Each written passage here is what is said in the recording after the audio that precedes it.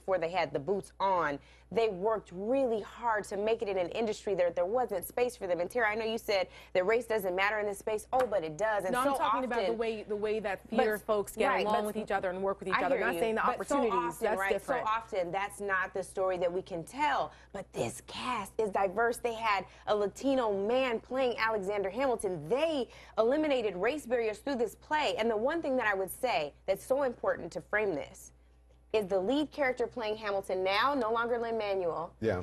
Manuel, sorry. Yeah, right. He is Openly an gay. openly gay, HIV positive Yeah. man. And let's talk about. Javier Munoz, and he was he was part of Out but Out Magazine's 100. But Don, Yeah. this is against a vice presidential, or now or elect, vice president elect, who wanted to use HIV AIDS money for conversion therapy. Can you imagine what that's like for that man in that space? I think we can't just always say, you know, it's about the elites or whatever. We have to like The- look at things for their this is- full This is experience, the point right? I'm trying to make. You have the Hollywood elite, the media elite, the political elite, who looked at Donald Trump and his supporters and saw their, these supporters as deplorable.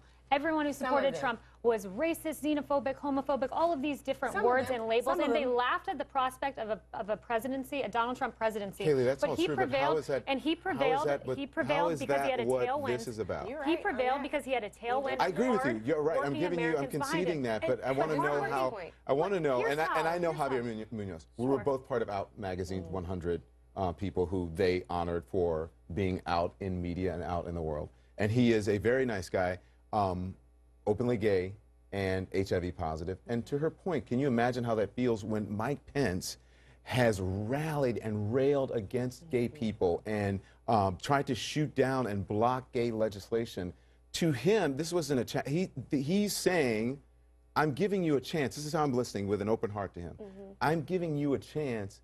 Give me a chance. Mike Pence loves all people, and President-elect Donald Trump already said he's not going to Mike fight to Pence roll back. does not love gay President- people. President- His record shows that he does not love gay Don, people. President-elect Donald Trump has already said he's not going to try to roll back the rights that, that we've seen in the gay I agree with you on that. Mike But- Pence but has not my, said But my point is there are a lot of Americans who can't even think about an $835 ticket to the theater because they can't even afford to put dinner on the table. That's not for what their this is families. about. Those are the That's not what Americans. this is about. We're not talking at Mike about Pence, that. You're jeering at those Americans. You know No, what? You you're know what I hope though. I hope the conservatives out. Sorry to interrupt. No, you. that's okay. But I, I, just, I hope the conservatives out there watching who haven't heard the soundtrack or seen the musical aren't turned off to this because this is great, and I think for me it's conservative, but it's patriotic. It's a great story, and everybody should.